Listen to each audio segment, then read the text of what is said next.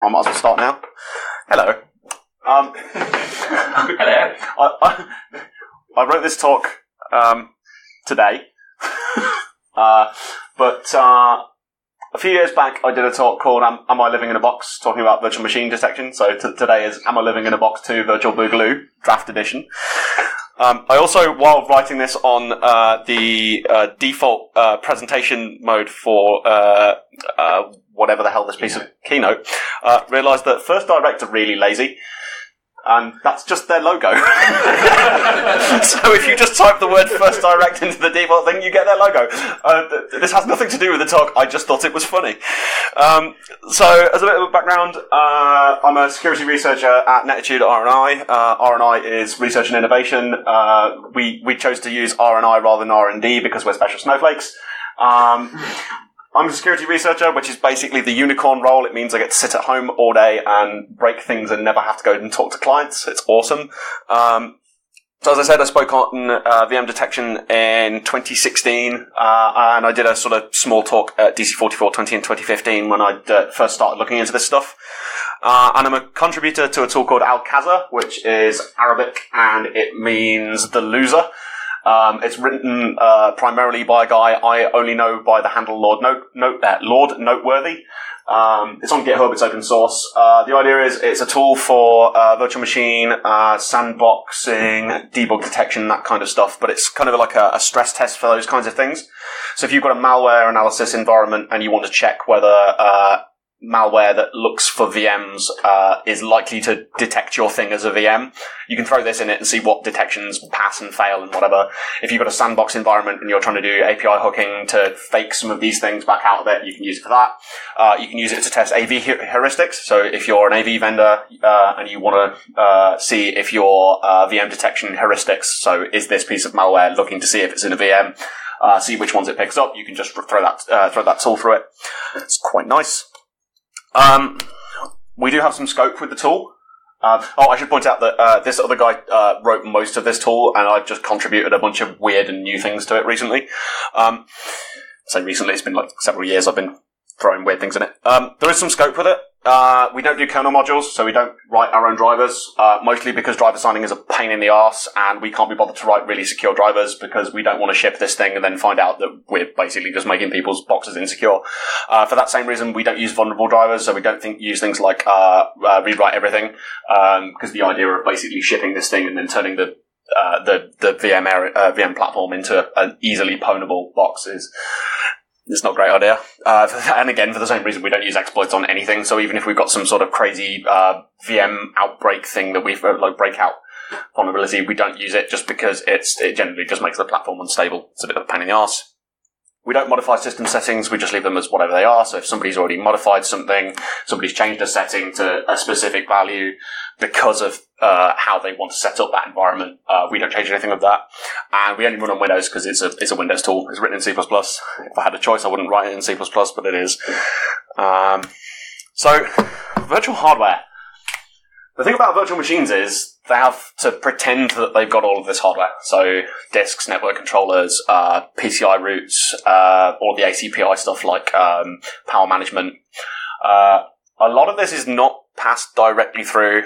Um, well, in fact, almost none of it is directly passed through. Um, there's an intermediate layer, so either that's faking a device, for example, virtual hard disks. So uh, you pretend that you're a SCSI device, but really you're just writing to a file on the host platform, uh, or some sort of translation. There are certain things out there. So, for example, the video drivers on on uh, most things uh, on most uh, VM platforms are either uh, entirely fake, or they do things like passing through OpenGL commands onto the host um, which can be somewhat problematic in some cases. And I think there have actually been a few breakouts from doing things like that. But yeah, it's not the same as real hardware. And because of that reason, uh, we can detect that hardware. Now, remember that I said that we don't go in the kernel, so all of this has to be done from user mode. Um, but we can still do it. Um, this first one is uh, the trick that I spoke about in 2015. Um, Windows has an API called uh, enum system firmware tables. Uh, it allows you to look at the ACPI tables on the system. Uh, the ACPI tables are basically a block of memory that's uh, in a fixed physical position uh, that explains how the uh, the system is sort of glued together, like where the SM BIOS data is, what individual hardware extensions, I think like ACPI extensions, um, exist, and also the actual BIOS source code uh, is actually in memory. Uh, it's in physical memory, um, and you can read that out via. Uh, there's another API that actually lets you uh, get the data out of these tables. So you can enumerate the tables, um, look for the SM BIOS and things like that. Uh, you can look at the names of them, and you can look at what's there. So, for example, on a VM, you're not going to find Windows Platform Binary Table because nobody implements that on VMs. This was that was the thing. If you remember Lenovo Superfish that was shipping drivers when you first install Windows, Windows looks for this WP, uh, WPBT thing, and then uh, it, the idea is that so that you can install drivers into Windows even if you format the disk and when you start it up again, the idea is that obviously if you've got some hardware driver that Windows requires to boot that's specific to this laptop, well, that's not going to be great if you try and boot for the first time on a wet, wiped image. So what they were doing is sticking drivers in there. Unfortunately, their driver had an SSL man in the middle thing that was just like super grim. Um, SLIC is uh, hardware licensing. So if you get a laptop that's got a Windows license tied to it, SLIC table uh, is in there. Uh, HPET is high performance event timer. Or I don't actually think any of the VMs implement HPET, but if you've got a motherboard that's newer than about 1999, uh, it'll have HPET. So chances are, if you don't have a HPET uh, entry in your ACPI tables, uh, you can guess that it's probably a VM. Uh, and the binary data. If you pull out the um, uh, the binary data of, say, for example, the SM BIOS, which is the BIOS implementation, so either uh, standard EFI or UEFI. Um, it contains copyright strings like copyright VMware 2006, which is like, hmm, I wonder if I'm running in a VM. They are actually replaceable. It's rarely documented. It's not supported, and it's really hard to uh, to faff about and do because you're effectively replacing it with a fake BIOS, which is super weird. Uh, but you can scrub out a lot of the strings and things like that, and it'll still continue to work. Um, but yeah, uh, it's a bit of a pain to, to get around. Uh, so this was discovered and used uh, by me at least. Somebody else may have come up with this before, but uh, this was in 2015 and I've already given a talk about that. One of the newer things I've been playing with is hard disks. So Windows supports direct ATP, ATAPI, I'm just going to call it that because I can't read the letters out, ATAPI commands. So ATAPI commands are what are effectively physically sent over the wire uh, when you're talking to a hard disk to say, uh, I want to write some data, I want to read some data, I want to uh, see what you support in terms of XYZ configuration.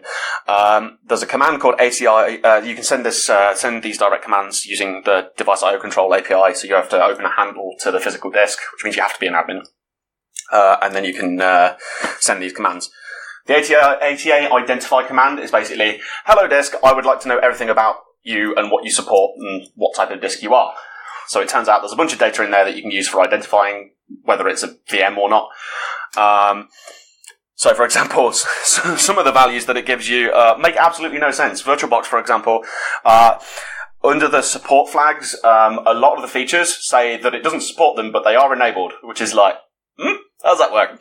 Um, and some of them are like hard coded values that are uh, used by the VM. So if you go, okay, is this value this, this value this, this value this, and this value this, probably a VM.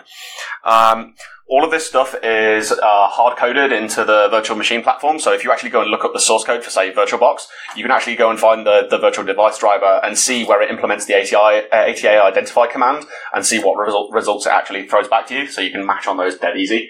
Um, of course, you don't want to do something like, say, um, take the entire blob of data and say, does it match exactly? Because it means as soon as somebody patches some new thing into the disk driver for it, suddenly my detection stops working. So what you generally do is you pick out some key things and say, you, you, you have like three checks, and if two out of three pass, then you guess that you're on a VM and stop executing. Um, and some of the values that are sent are uh, never ever seen in real modern hardware. Um, or hardware that you, I mean, for example, one of the big things is crypto miners, right? People dropping crypto miners on boxes and they want to know that their crypto miner isn't being run on a VM platform that's like being used for, um, uh, uh, uh, malware analysis. Um, So uh, if you've got a system that's using SCSI devices from 1993, you're probably going to guess you're not going to get much value out of running a crypto miner on it. Um, so yeah, some of the things like uh, SC- uh, SCSI interface versions, for example, uh, give away dead easy that you're on a VM. Um, so I wrote a tool. It's called ATI Identify Dump, and basically all it does is it opens a handle to each individual physical disk and sends an ATI, ATA Identify command, takes the results, passes them out, dumps them into a big text file. So what I do is then I take this tool, run it on a bunch of boxes, run it on the different uh, VM platforms, uh, as many as I can find, send it off to my friends and say, hey, can you run it on this box? And of course, people trust me and just run arbitrary executables that I send them. Look, the source code's right here. Trust that this binary is the same thing. Um, and uh, then I take all of that da- uh, data and go, okay, well, these are all VMs. These are all physical real machines. What's the difference? Where, what, what's obviously the same across all of the VMs and different for physical hardware. Um, this was really low effort, and in a day, I think I found about 11 different ways to detect VMs just out of that. Um, so it turns out it's actually really easy to do this. Um, the next thing is PCI controllers. Um, so if you're not familiar, uh, PCI is um, there are many words I could use to describe PCI. Um, PCI devices uh, sort of go in like a, a tree. Uh, and they're attached all the way back up to uh, effectively like the PCI root, which is on the processor.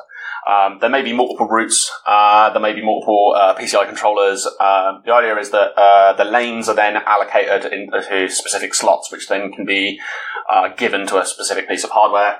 Um, you get these things like uh, uh, PCI multiplexers. So if you've ever had the thing with like installing a, you know, the new NVMe M.2 drives, and they're like, if you put, you can put one in, but if you put another one in, your top slot now only runs at 4x or something weird like that.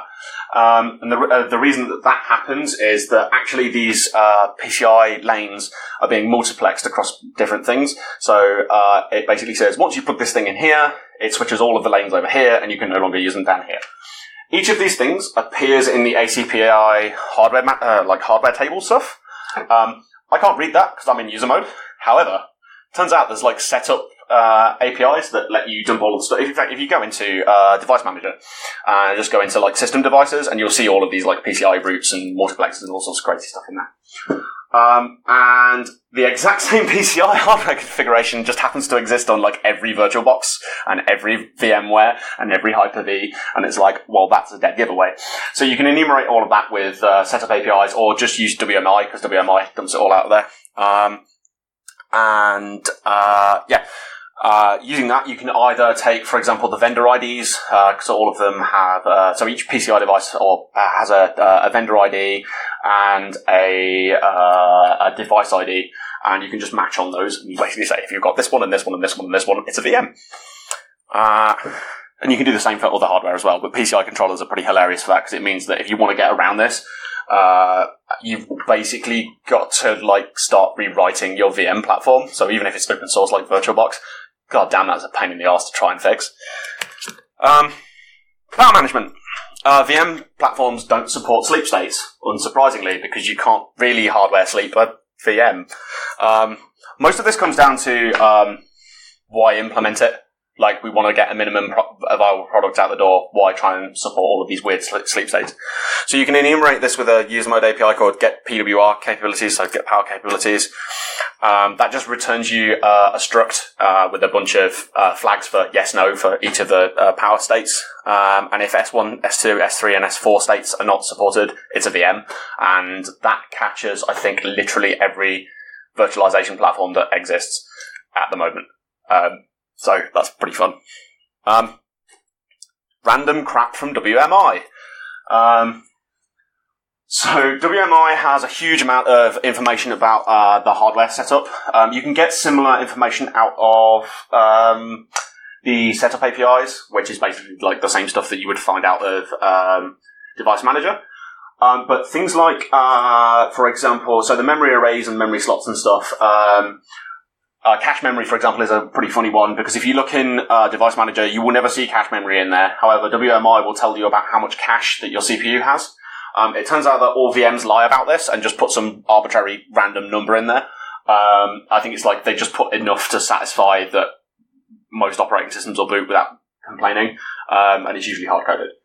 Um, so these like memory arrays, for example, you wouldn't find a memory array in Device Manager, but this is also an individual plug and play piece of hardware that's um, presented over WMI. Um, temperature sensors. VMs don't need temperature sensors because there's no temperature on the VM. It's a VM. Uh, they don't have thermal zones. They don't have fans. So if you look for WMI and you find no no thermal zones, no fans, no temperature sensors, probably a VM. Uh, voltage sensors and voltage probes. Uh, there's no voltage probes on the VM because it's software. There's no voltage. Um, plug and play devices. Um, WMI dumps a bunch of information about those as well.